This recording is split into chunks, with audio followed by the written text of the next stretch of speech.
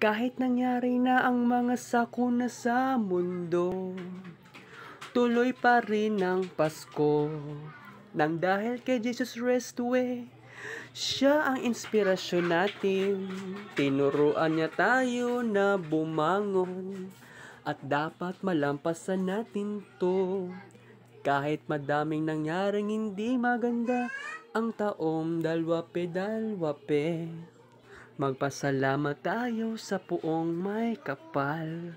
Meron pa rin tayong natatanggap na mga blessings sa taong ito. Sa taong ito. Kahit may COVID o bagyo sa atin, tuloy na tuloy pa rin ang pagdiwang ng Pasko. Kaya naman mga mahal kong kababayan, ipagdiwang at tuloy pa rin ang Pasko.